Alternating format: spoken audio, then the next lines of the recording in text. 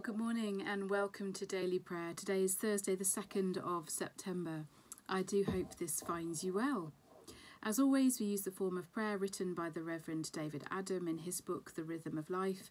We use one of the Bible readings for the day and a reflection on that reading. On a Thursday, the theme for prayer is community. And so we breathe, we remember we're in the presence of God, and we pray. Blessed are you, Creator of all things. The heavens adore you. Let the whole earth worship you. Let all peoples proclaim you. Let all nations obey you. Let us serve you in love and in peace. Come, Lord, and rule. Come into our hearts and fill them with love. Come into our minds and fill them with peace. Come into our lives and fill them with light. Come into our days and fill them with glory. Come, Lord, and rule. Today's psalm is Psalm 145 Your faithful servants bless you. I will exalt you, O God my King, and bless your name for ever and ever. Every day will I bless you and praise your name for ever and ever. Great is the Lord, and greatly to be praised. There is no end to his greatness. One generation shall praise your works to another and shall declare your power. I will ponder the glorious splendour of your majesty and all your marvellous works. They shall speak of the might of your wondrous acts, and I will tell of your greatness. They shall publish the remembrance of your great goodness. They shall sing of your righteous deeds. The Lord is gracious and full of compassion, slow to anger and of great kindness. The Lord is loving to everyone, and his compassion is over all his works. Your faithful servants bless you. And today we continue reading from the book of Proverbs, and we've reached chapter 27 starting at the first verse.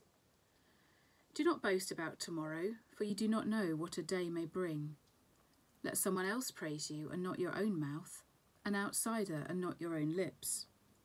Stone is heavy and sand a burden, but a fool's provocation is heavier than both. Anger is cruel and fury overwhelming, but who can stand before jealousy? Better is open rebuke than hidden love. Wounds from a friend can be trusted, but an enemy multiplies kisses. One who is full loathes honey from the comb, but to the hungry even what is bitter tastes sweet. Like a bird that flees its nest is anyone who flees from home. Perfume and incense bring joy to the heart, and the pleasantness of a friend springs from their heartfelt advice.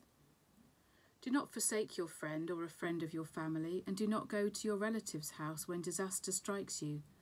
Better a neighbour nearby than a relative far away.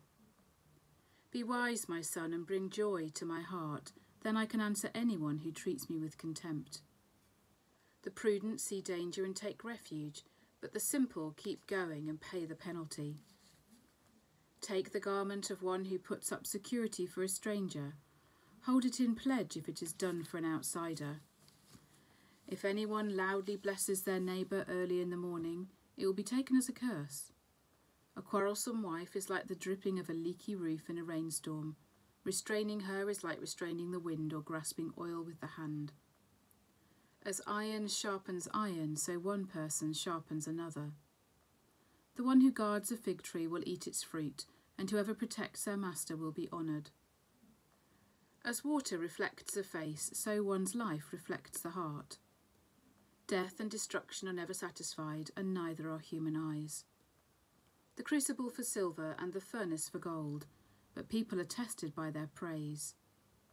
Though you grind a fool in a mortar, grinding them like grain with a pestle, you will not remove their folly from them. So, more words of wisdom from the book of Proverbs. And uh, once again, I'm going to read a reflection, and this uh, reflection is written by Peter Graystone.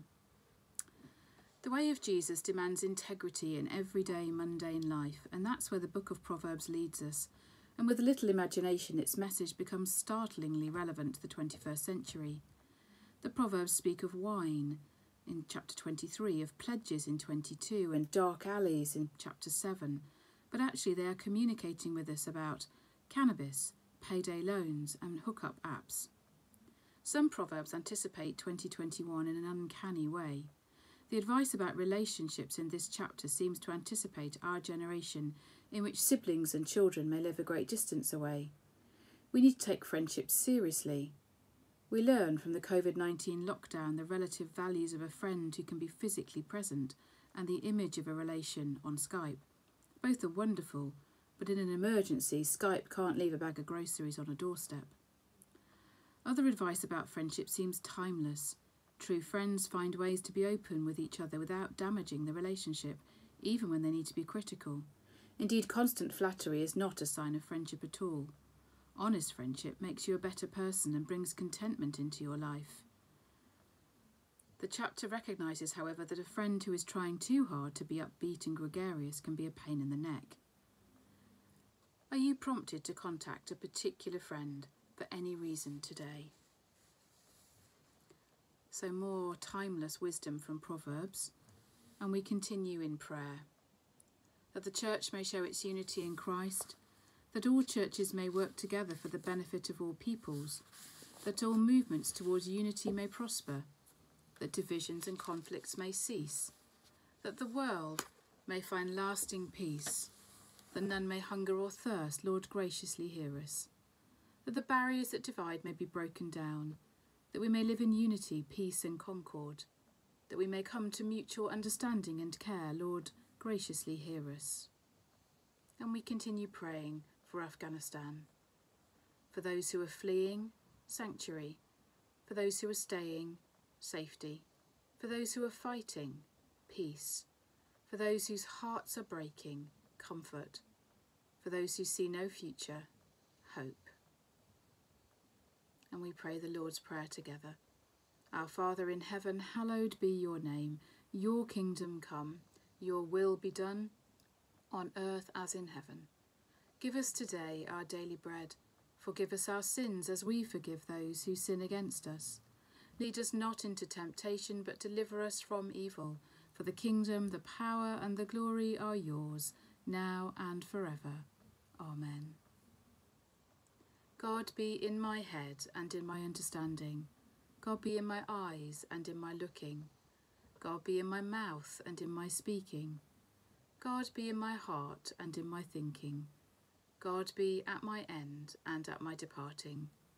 So, Lord, be with us to guide us, within us to strengthen us, without us to protect us, above us to raise us beneath us to uphold us, before us to lead us, behind us to guide us, ever about us today and evermore.